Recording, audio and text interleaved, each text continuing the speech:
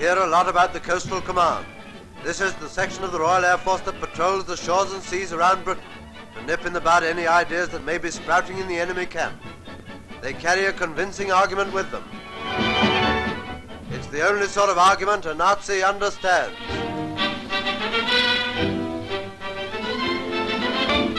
Parachutes are examined every two weeks. Every square foot is checked over, every cord is tested.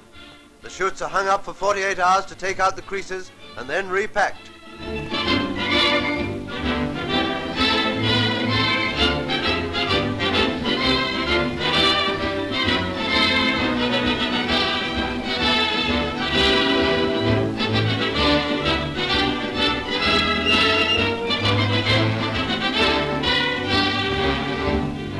Weather information is an essential need to all pilots, none more so than the Coastal Command. In the course of a patrol many hours long, they may encounter all four seasons, so experts warn them beforehand. The squadron is nearly ready to start out. Last instructions are given by the CO. Well, the job you have this afternoon is to locate and shadow this force here, uh, labeled KG. It has come down these islands and is supposed to be making for one of the French ports along here. But it's quite possible that they'll take shelter amongst these islands. Are we likely to meet any air opposition? Well, we just have opposition along the coast, pretty well all the way along, but there's nothing actually reported with the convoy. Crews go aboard for the long patrol. It isn't always exciting work. Often it is just routine watching and reporting. But it's work that is vital and it must be carried out with unflagging keenness and energy. And that's just the way they do it. Air gunner tests his rude reply to Nazi fighters, and they're all set to go.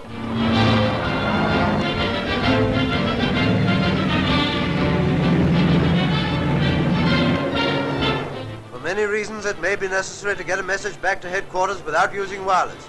The RAF makes use of pigeons for that purpose.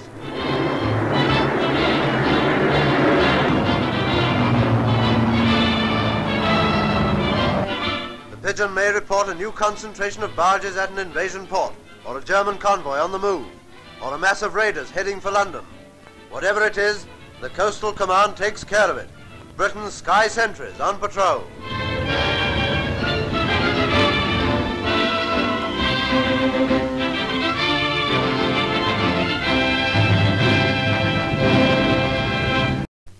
British Coastal Command Station, crews of an Australian flying boat squadron report for the morning's orders.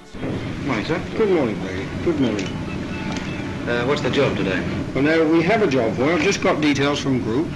The job this morning is to patrol an area which I will show you on the map in a minute. But you must be back by dusk. I see. Uh, late in the day, the weather is deteriorating. Yes. Uh, we know there are some enemy aircraft in the vicinity, so you must keep a sharp lookout. Yes, I'll watch out. Okay? All right. Well, now, come over here and I'll show you.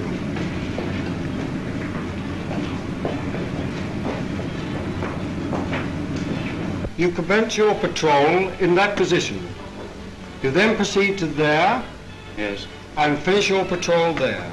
Yeah. Yeah, sir. Yeah. For a day, we are to become a part of this mighty and efficient organization, the wonder of the world, the Royal Air Force.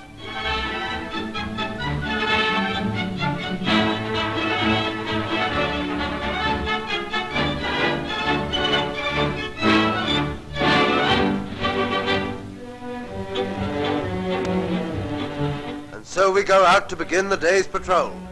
We are privileged to fly in one of the giant Sunderlands, the battle cruisers of the air.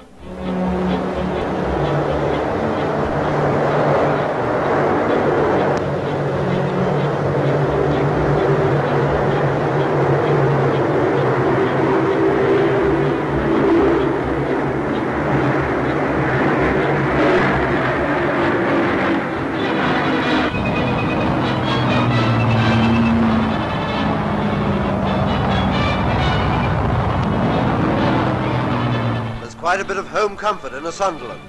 We're able to take a proper meal in the huge cabin at a real table. Hundreds of miles later we sight a convoy, British of course, and all's well. There's a submarine, Let's descend and have a closer look. It seems British, but we'd better make sure. Yes, she's British, all right. It's turned out to be an uneventful trip. Just a routine flight with no excitement.